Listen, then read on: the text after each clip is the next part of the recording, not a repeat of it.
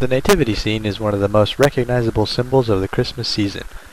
But what do you do when this happens to your nativity scene? Hi, I'm Chet Butley, and if this has ever happened to your nativity scene, you'll want to stay tuned to this episode of Holiday How To.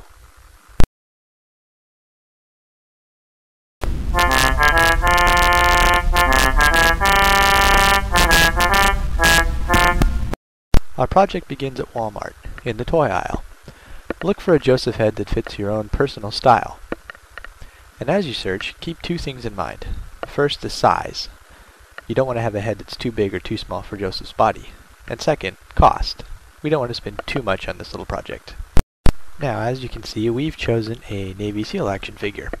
The head seems to be just about the right size, and we really like the hat and the goggles.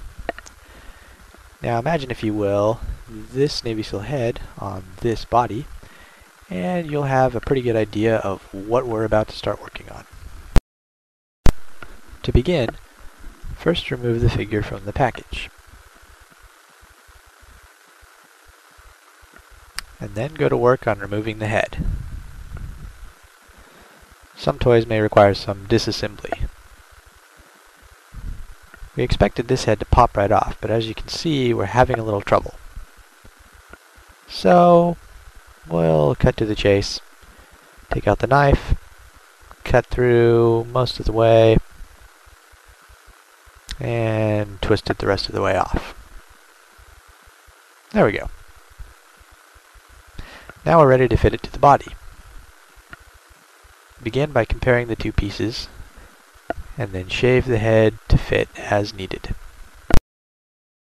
There.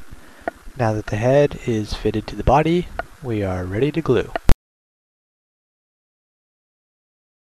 We'll just apply a little wood glue to the neck and stick on the replacement head like so and we'll just hold that there for a few minutes and once that's dry, Joseph will be ready to take his place on your mantle next to Mary and the baby Jesus.